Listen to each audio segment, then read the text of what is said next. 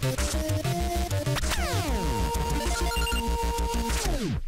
What's up gamers, Dreamcast Guy here, and I have been playing a ton of the new DLC for Splatoon 2 called the Octo Expansion.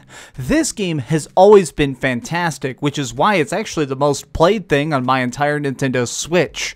I've clocked in over 80 hours since launch, so I was very eager to see what this was actually going to be, because already this is an experience that's so well rounded. But there was always one major drawback to Splatoon 2, which is that the single player was quite lacking. I mean, really, if we're being honest with ourselves here, it seems like the only reason they put any sort of story mode in this game was to try and teach you the controls and different weapons, that way you would jump into the multiplayer and then never go back. Now, I'm okay with that, but it did kind of leave me a little bit aching, wanting a tiny bit more on the single player side. So for this DLC, it's basically just that. It is only single player content, and I think the way it handles itself is quite smart. So basically, we're now playing as the Octolings. They're kind of like the opposite of the Squid Kids. And this is basically a side story that takes place deep underground of this city. Our little character is somebody we get to make right from scratch here, and he's basically somebody who's waking up with amnesia. He can't remember how he got in this subway, but he does know that he has a single mission, and that's to escape.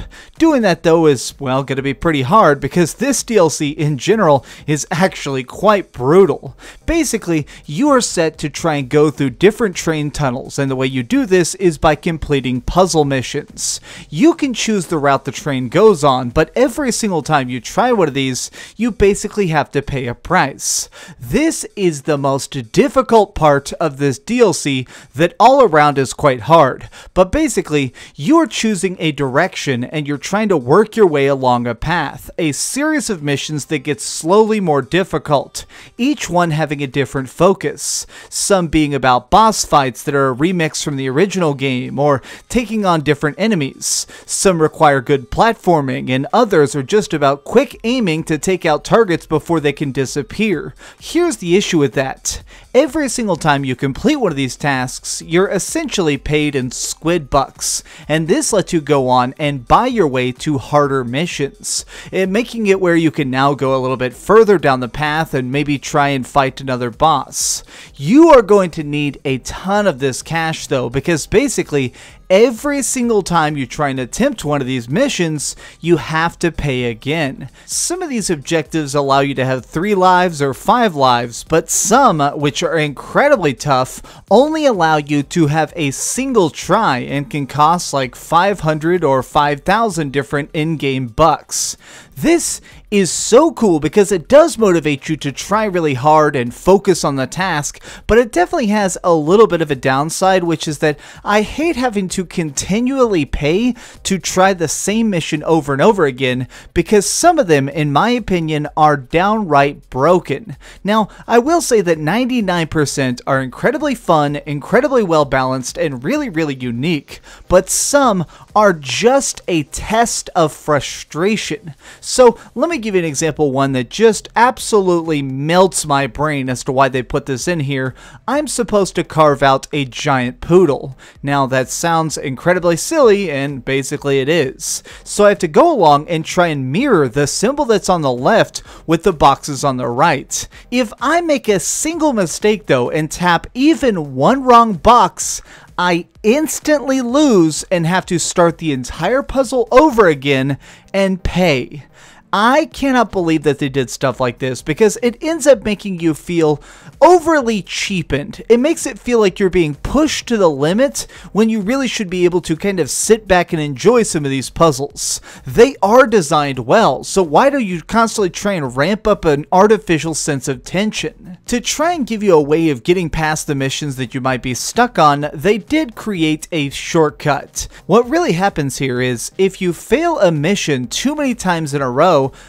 Uh, basically, these characters will come along and go, hey, it looks like you're sucking. Do you want to just pay to skip it? And you essentially give them the squid bucks that you would have paid to get that mission another try, and now you get to go to the next one. It's something that gives you a nice workaround in case you're completely deadlocked on something that just seems impossible, but I do like that what they do is instead of giving you the full prize, they give you a silver medal, so to speak. Because each time you do one of these levels, they pay you in squid bucks and they also give you a memory, which are basically these little marshmallow things. If you pay your way past a mission, they give you a silver medal instead, a not quite as whole memory. This is a smart way of kind of distinguishing what you've actually done and what you've kind of had to cheat your way past. That way, if you do want to go back later on when you've gained better skills and try and do it a little bit more efficiently, you can. You can go back to any of the different routes whenever you want. So as you're going along trying to beat all these different maps, you're slowly unlocking more sections of the underground, making it where you can find new routes, new unlockables, and get the big things you actually are trying to search for, which I won't really talk too much about because there isn't a ton of story here, but I do think that the jokes themselves and the uh, the overall the way they unpack things is quite cute. I love the fact that we're getting to see all these weird people who are stranded in the subway sometimes for years and have now gotten amnesia themselves. So seeing them all get their memory back piece by piece and then kind of just talk about it and sometimes even rap about it is kind of cute. Another aspect of this that I think is kind of ingenious is that there are different difficulty levels in a way. Most missions actually allow you to take different weapons, but they sort of just push you into using the easier ones. So, say you're doing one where you actually have to shoot buttons to try and sneak through a giant moving labyrinth. If you did this with a weapon that's short range, it would be way, way more impossible. So, because of it, they will end up paying you a higher percentage percentile at the end, a bigger bonus for a bigger challenge. So if you want, it is possible to try and coast through on the lowest difficulty, always using the recommended guns in the recommended way, and kind of getting through this thing without constantly just tearing your hair out.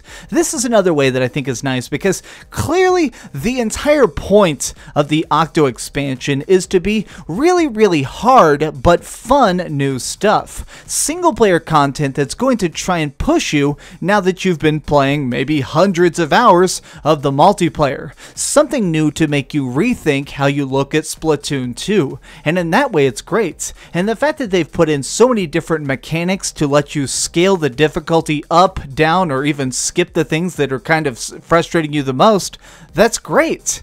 This has so many things I do enjoy, despite the fact that I think that some missions are downright broken. Okay, so we've heard some good and some bad, but let's go over the ratings board and put a big number on it. I am giving the Splatoon 2 DLC an 8.5 out of 10. For those who are really curious about how long this would take to fully complete, I think that it would take probably about 20 hours. I got pretty far into it, but I wasn't able to complete all 80 of the new missions, but even still, having gotten the main unlockables down and fought all the bosses, it's hilarious. I'm definitely glad I did it, and it was definitely $20 well spent. Thanks so much for watching, gamers. If you enjoyed this video, please give it a like, share with your friends, and subscribe if you haven't already. But do me the biggest favor of all and keep dreaming. Oh, hey, I was just playing a little bit of Grand Theft Auto on my Darth Vader PSP. Are you curious what I'm going to come out with next? Well, if you click this button, you'll be subscribed to be the first to know. Also, if you click over here and here, you can see my latest review and my latest top 10. I promise, it was super good. Or it was really bad and I'm sure you can just make fun of me in the comments. Either way, it'll be a lot of fun. Thanks so much for watching.